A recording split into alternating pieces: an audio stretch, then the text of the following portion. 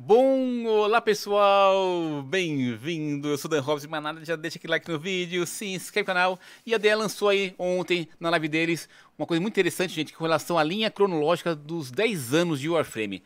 Eu vou deixar aqui embaixo no link do vídeo, ah, para você quiser acessar, assistir aqui nossos vídeos, né, ó, dá um cliquezinho para vocês verem aqui, tá? Então tem todo o link aí para assistir, você tá acompanhando aí, ó, nosso, o primeiro trailer deles, hein, cara, vamos dar uma olhadinha? O primeiro trailer do Warframe. Ancient weapons from the old Earth. Only the Tenno can Olha como que era, hein? But the Tenno are on the brink e meu, e o primeiro que eles lançaram só tinha Excalibur. Era só Excalibur, rapaz. The Grineer hunt for those Tenno that remain. They hunt for you. Isso em 2012, hein? But you will be waiting.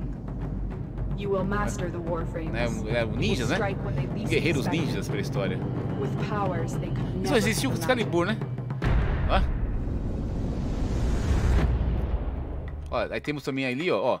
Tem aqui ali, junto. Tem o Excalibur tá ali, mas tinha mais alguém com ele ali, ó. Ó, o Voltzinho. O Ash, né? O Ash Loki, pelo jeito ali. Volt também. Rino com seu pisão. Uau. Beleza, gente? Então vou deixar pra vocês aqui, ó. Deixa eu fechar as duas telas aqui. Opa, cadê? Então vou deixar pra vocês aqui, tá? Quem quiser depois assistir completinho, então tem aqui, ó. O começo. O Warframe entrou em acesso antecipado no PC. Durante esses primeiros dias, o Excalibur era a única força de poder contra os Grineer. Caraca. Isso foi em 2012, tá? Vamos seguir aqui, ó. Aí tem o lançamento dele, o beta aberto, foi lançado dia 25 de março de 2013, meus amigos. Caraca. Aí fala um pouquinho sobre conhecendo o Darvo, né?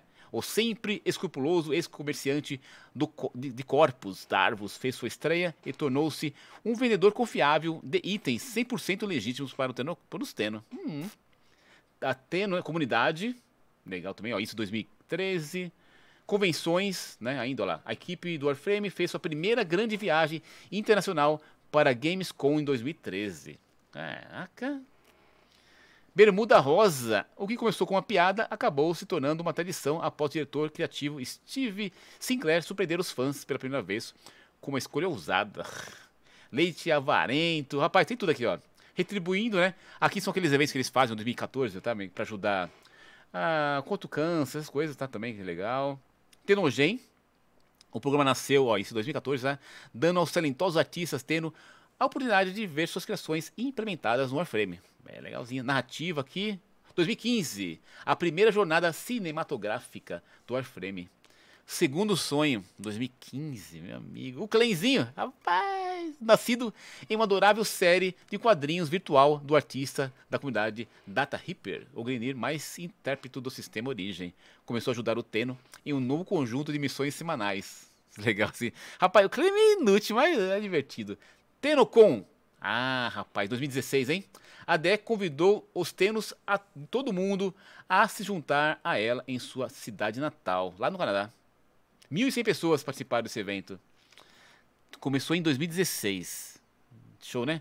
Homem na Parede. Planícies de Eidro, Mundo Aberto, meu amigo. Foi, estreou em 2017. A segunda edição da Tenocon teve o dobro de participantes do ano anterior, com fãs enfileirados ao redor dos quarteirões, aguardando ansiosamente sua uma infinita, infinidade de atividades, incluindo oficinas, encontros e outras atrações. Foi apresentado para nós em 2017. Eu comecei a jogar em 2018. Aí, ó.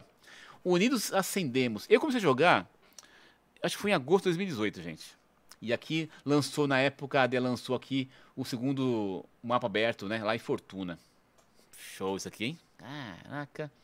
Almoço antecipado para o Conzo? Não sei o que é isso daqui. Eliminar os Grineers das planícies de Eidolon deixa o patriarca dos Ostrom com bastante tempo para almoçar à vontade.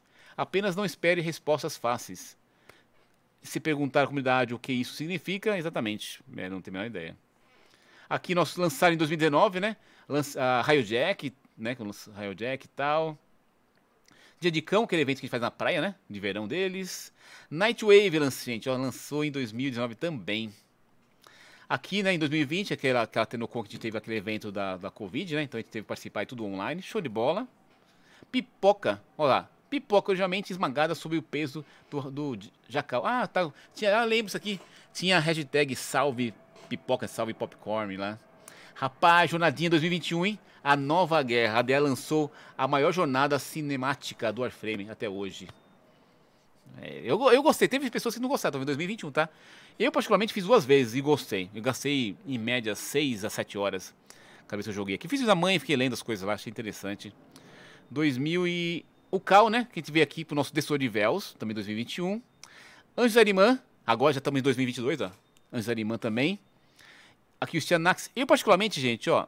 Eu, eu, foi bem feito esse, esse, esse anime aqui, que lançou em 2022 sobre Tianak, mas eu particularmente acho que sair fora do contexto do que é o Warframe. Eu, eu, eu preferia de uma maneira mais normal que eles fazem.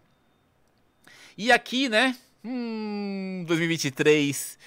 Olha lá, o presente. Tenos de todo mundo esperam ansiosamente pelo que se pode ser descrito como a atualização mais alucinante do Warframe até agora. Em O Paradoxo Duvere, os jogadores mais uma vez assumem o papel do peregrino e guiam através da irrealidade distorcida de um mundo aberto que muda de cor sob o domínio de um novo vilão chamado Dominus Trax. No entanto, Duvir é muito mais do que apenas um mundo aberto. É uma maneira totalmente nova de experimentar o Warframe, na qual qualquer Teno pode entrar independentemente de onde esteja em sua jornada. Legal, hein? Com, recente, com a recente revelação dos novos sistemas, como combate corpo a corpo, do peregrino, decretos e criptas de muito mais. O entusiasmo para dúvida está atualmente, atualmente, né, atualmente em alta. Hum, o que, que será que vem, meu amigo? Então, e tem aí, né? 2023, o futuro a direção que o sistema origem tomará depois de Duvre ainda é um mistério. Mas tenha certeza de que a DE está trabalhando continuamente no desenvolvimento do próximo capítulo de sua extensa narrativa cinematográfica, com tantos tópicos de atualizações anteriores para desvendar a evolução contínua do Warframe. Certamente surpreenderá e encantará todos os novos quanto aos tenos veteranos. Isso vai esperar, né? Então, a gente tem a Tenocon aqui. Gente, aqui no vídeo, vou deixar para vocês aqui essa, essa página, para quem quiser assistir as, as cutscenes aí, bonitinho, tá? Então, a gente começou aqui, ó, lá em 2012, cara. Então, ele foi lançado, realmente foi lançado, cadê? O Warframe foi lançado em 25 de março de 2013, tá? Teve 2002 aqui, acho que foi tipo, né, um betinha e tal. Mas dia 25 de março, daqui, daqui dois dias, foi lançado oficialmente 10 anos. 10 anos de história. E você? Bom, eu comecei a jogar, gente, aqui, ó, em 2018. Tá? Eu comecei a jogar em, acho que foi em agosto ou outubro de 2018. Deixa aqui no comentário quando foi que você começou a jogar. Vamos lá, gente. Deixa aqui na, na timeline, aqui no, né, aqui no vídeo, na, nos comentários, quando foi que você a jogar. Tá? Eu vou deixar aqui, eu comecei a jogar em 2018. Eu acho que foi em agosto. Acho que foi agosto de jogar. Parei um tempinho, uns dois meses, voltei em outubro. Foi isso mesmo. Agosto eu queria conta, joguei. Não entendi pisoca nenhuma.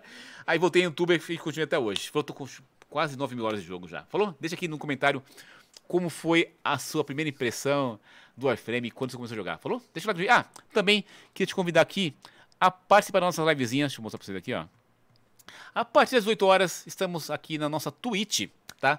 Faço live simultânea também Twitch com Trovos, Twitch com YouTube, mas cola aqui na Twitch, tem clã, tiramos dúvidas, dá pra jogar junto e também vem aqui, ó. Vamos jogar junto aí. Rapaz, que esperado o Warframe, hein? Será que vai durar? Será que essa linha aqui de 2023 vai descer muito? Já pensou? 2025, 28, 30? Rapaz, será que vai? Não sei. Sei lá, vamos ver até onde vai isso aqui. Falou, gente, deixa o like no vídeo. Espero você na nossa livezinha na Trovo a partir das 8 horas. Deixa o like no vídeo. Até mais. Tchau.